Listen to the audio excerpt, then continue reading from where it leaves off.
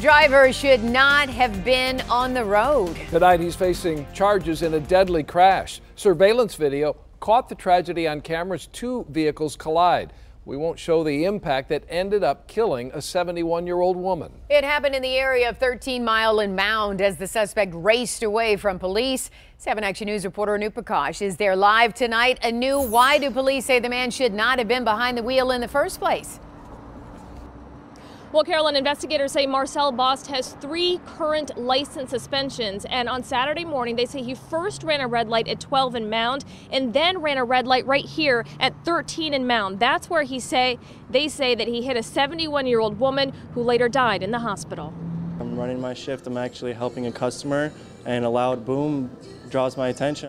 Tudor was working at this Marathon gas station at 13 and Mound Saturday morning when he heard a noise that startled him. Then he saw the aftermath. I look into the street and just pieces of debris everywhere. Warren police say 24-year-old Marcel Bost was driving at a high rate of speed when he ran a red light at 13 and Mound, slamming right into a Kia Optima being driven by 71-year-old Emerita Alboa from Warren. She died Monday at the hospital. On this gas station surveillance video, you can see that about 10 seconds after the impact, which we are not showing, a Warren police officer pulls up. We're told that officer, who was on patrol in the area, first saw Bost speed through a red light at 12 and Mound. Investigators say Bost hit a mini minivan and kept on going. We're told the officer turned on lights and sirens and tried to pull Bost over, but that's when they say he just kept speeding away and ran that second red light a mile away at 13 and Mound. Almost right away, which, you know, got me thinking that maybe he was chasing this person.